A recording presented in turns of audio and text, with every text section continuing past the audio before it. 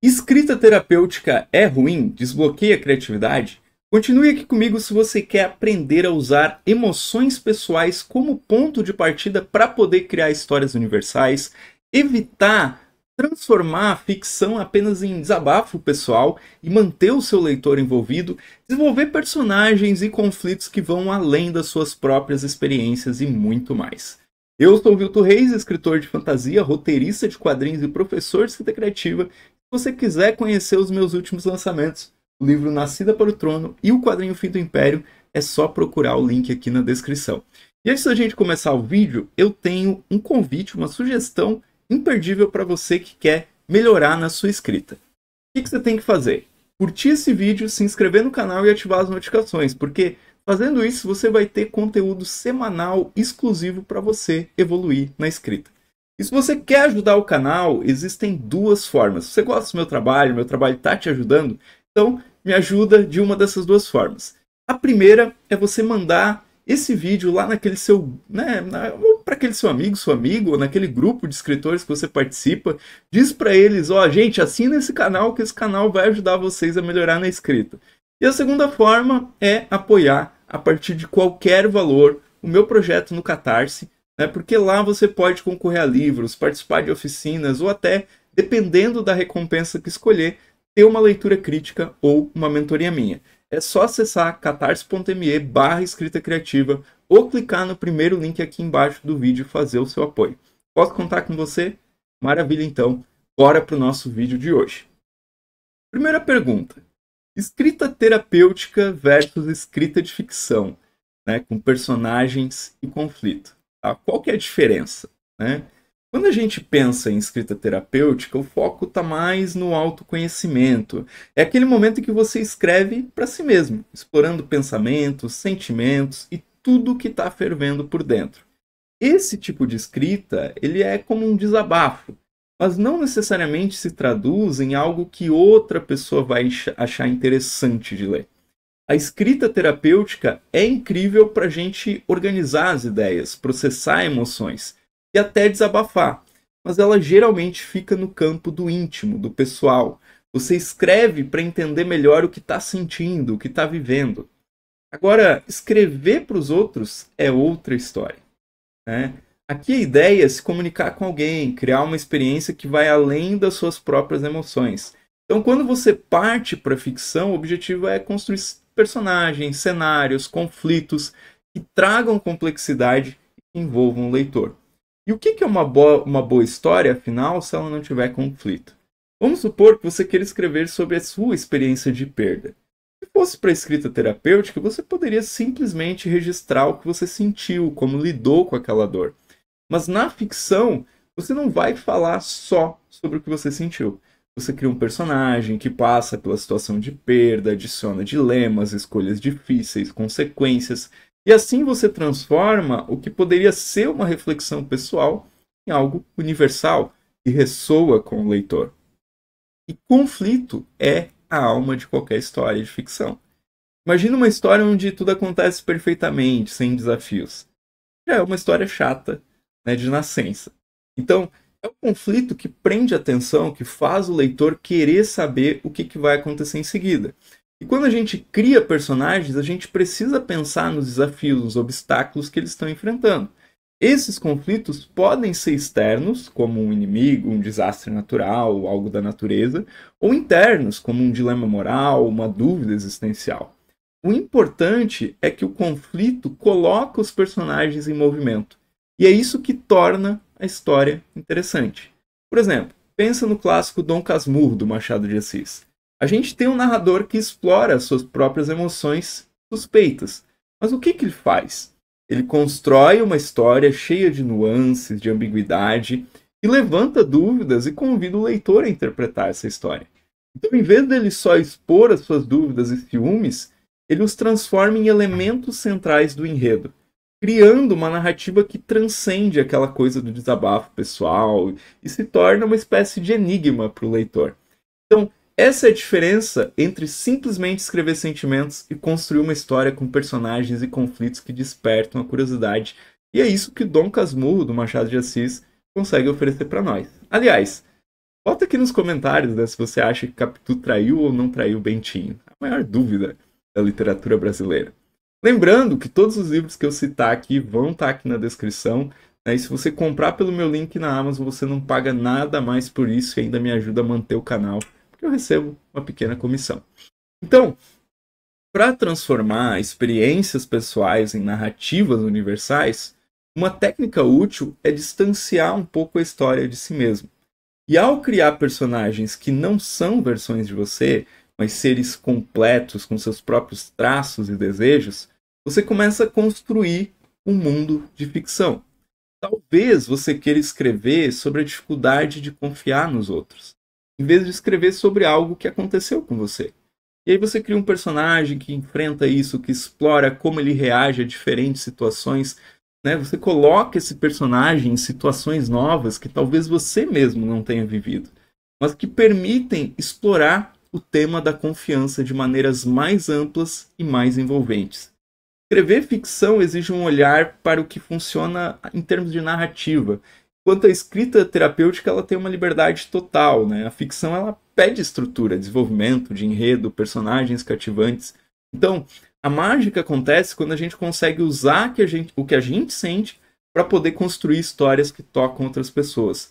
Afinal, a experiência pessoal ela é uma ótima base, mas para se tornar ficção, ela precisa ganhar vida própria, se abrir né, para interpretações e sentimentos diversos. Tá? Você já experimentou transformar algo pessoal em ficção? Comenta aqui embaixo como é que foi esse processo. Bom, vamos então pouquinho mais a fundo aí nesse tema, né?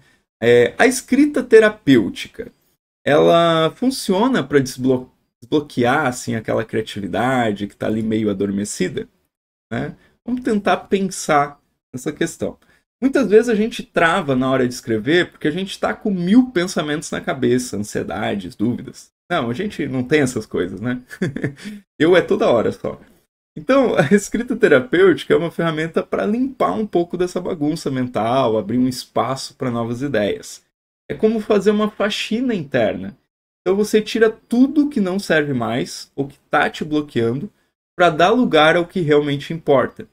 E uma das melhores formas de usar a escrita terapêutica para desbloquear a criatividade é praticando a escrita livre. Essa técnica consiste em escrever sem pensar demais sem corrigir, sem voltar atrás. Você simplesmente coloca o que vem à mente sem se preocupar se faz sentido ou não. Com o tempo, você vai perceber que ao fazer isso, as ideias começam a fluir com mais liberdade. Muita gente se surpreende com o que acaba saindo nessas sessões de escrita livre. Às vezes, ideias para histórias, personagens ou até mesmo soluções para problemas da sua vida pessoal que você nem sabia que estavam te incomodando. Outra técnica assim bem interessante é a prática do escrever sem filtro. Imagina que você tem um caderno, pode ser um arquivo no computador também, onde você pode escrever qualquer coisa sem julgamento, sem críticas. Pode ser um lugar onde você se permita ter ideias absurdas, contraditórias e explorar temas que talvez nunca tivesse coragem de abordar de outra forma. Isso ajuda a tirar a pressão de acertar ou de fazer sentido é um espaço onde você é livre para experimentar. Por exemplo, o Raduan Assar, né, o escritor brasileiro, ele é conhecido pelas suas narrativas introspectivas, poéticas, que muitas vezes exploram o lado sombrio e o caótico da mente. Embora ele seja um autor de ficção, é fácil imaginar que ele usa a escrita para poder explorar temas que são profundos e pessoais. O resultado é uma prosa cheia de imagens, de sensações, de estasia. Né? Então, a escrita terapêutica ela pode ser uma boa maneira de explorar esses universos internos e transformar sentimentos confusos em algo que, quem sabe, um dia se torne uma obra literária. E ao explorar esses temas pessoais, você pode descobrir pontos de vista que não tinha considerado antes. Talvez algo que parecia simples, como uma memória de infância, acabe se transformando numa metáfora incrível para uma história de ficção. A ideia aqui é usar a escrita como uma forma de escavar ideias, de ir mais fundo no seu processo criativo. Com o tempo, esses insights podem se traduzir em histórias que tocam né, e que envolvem o leitor. Tá? Mas e aí, você está curtindo essas dicas? Então não perde a chance que eu falei lá no começo do vídeo, aproveita que você já está aqui, curte o vídeo, se inscreve no canal, ativa as notificações, porque toda semana tem conteúdo como esse para você. Mas, embora a escrita terapêutica ela seja uma ferramenta incrível para autoconhecimento, criatividade, existem certos limites para o seu uso quando o objetivo é escrever ficção. É, de novo, uma coisa é escrever para entender melhor o que você sente. Outra bem diferente é construir uma história que também engaje outras pessoas. A ficção, ela exige técnicas narrativas que vão além do desabafo. E é importante reconhecer esses limites se você quer tornar um autor. Para começar, a gente precisa lembrar que a ficção não é só uma extensão de nós mesmos. Sim, você pode e você deve colocar coisas pessoais nas suas histórias. Mas você não pode deixar também, se você quer ser um autor de ficção, né, que isso domine a sua narrativa. O problema com a escrita terapêutica na ficção é que muitas vezes a história acaba virando uma espécie de diário disfarçado. Em vez de personagens complexos, o que a gente tem são reflexos do autor. Para evitar isso, você pode pergun se perguntar, né?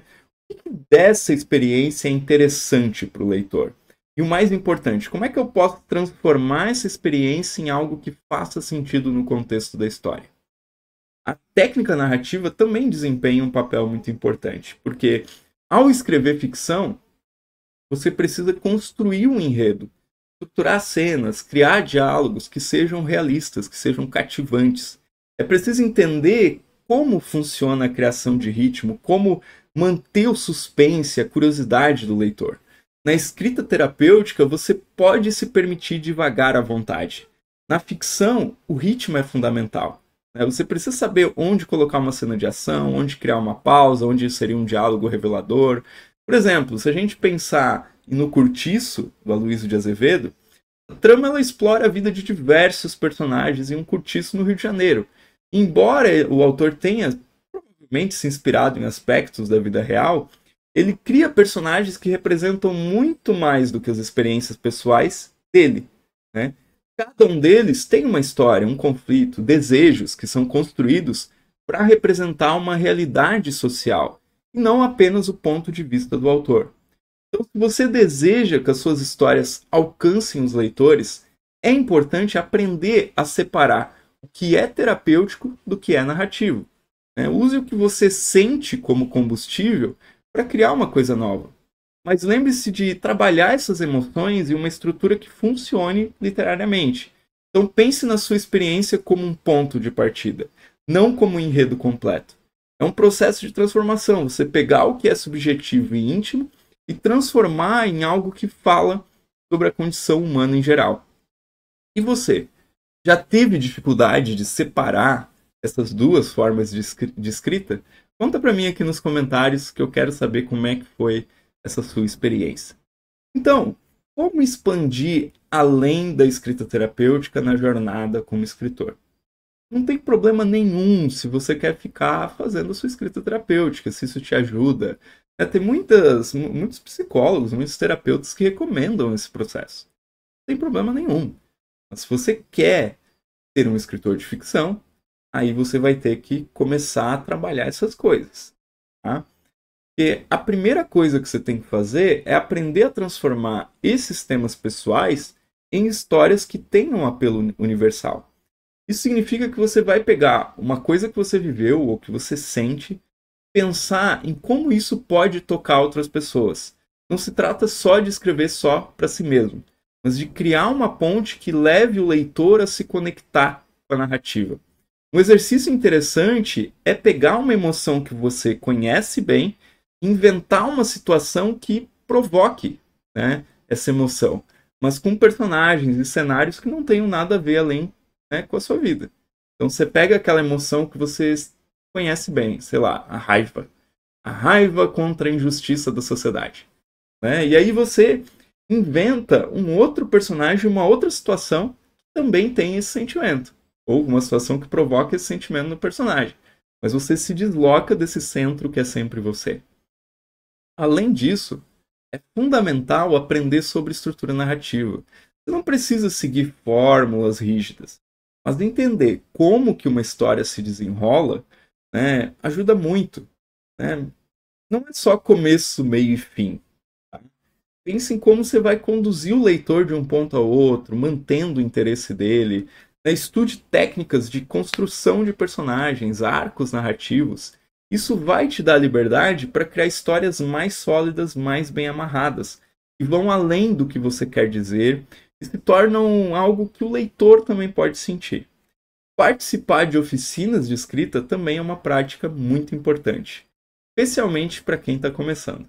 Eu lembro a primeira vez que eu fui para uma cidade aqui próxima de onde eu moro, né, peguei um ônibus, fui para lá, não conhecia ninguém, era um evento, eu não lembro se era um evento do Sesc, e eu cheguei lá e fui para participar de uma oficina literária, né, e o professor era o Luiz Rufato. Foi ali 2011, 2012. Né? Então, Nessas oficinas, o que, que acontece? Você testa suas ideias, você troca impressões, ouve o que outros escritores têm a dizer sobre o seu trabalho, e isso faz uma diferença enorme. Então, receber feedback de quem já tem experiência ajuda você a entender o que está funcionando, o que pode ser melhorado, como tornar a sua escrita ainda melhor. Além disso, em oficinas e grupos de leitura, você aprende com os outros, você vê diferentes estilos e percebe o que, que realmente prende a atenção do público. Aliás, se você quiser evoluir, né, melhorar, aumentar o seu desenvolvimento na escrita, eu tenho um projeto no Catarse aqui que financia esse canal no YouTube inclui né, uma oficina de escritores mensais.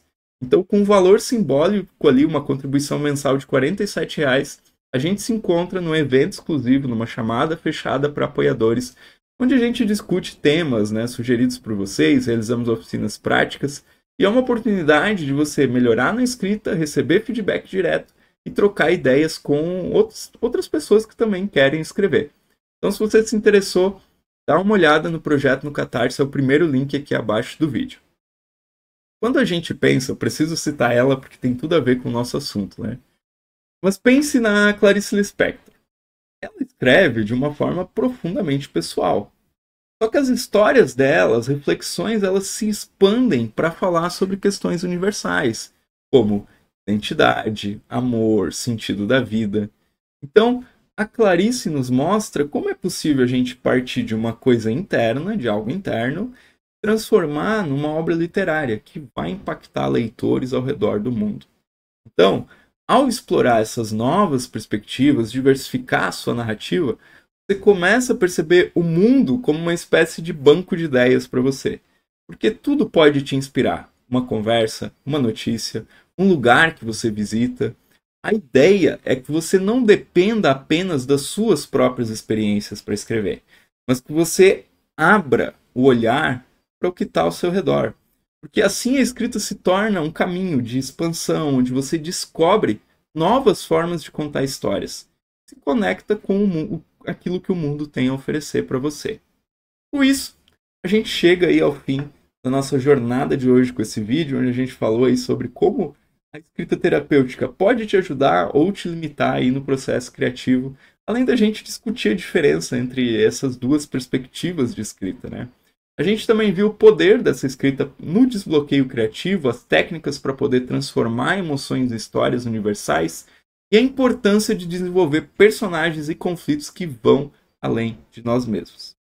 Mas a gente não para por aqui. Nossa aventura aí na escrita não termina aqui. Porque no próximo vídeo a gente vai mergulhar em um tema fascinante, o horror cósmico. Né? Vamos, a gente vai explorar um erro comum que muita gente comete ao usar esse gênero nas suas histórias. E como que você pode evitar para criar um terror, né, um horror, na verdade, verdadeiramente impactante. Então, se você não quer perder esse conteúdo, aproveita para se inscrever no canal, deixar sua curtida nesse vídeo, ativar as notificações e assim você acompanha cada passo aí dessa jornada pela escrita e pela criação literária. A gente se vê no próximo vídeo.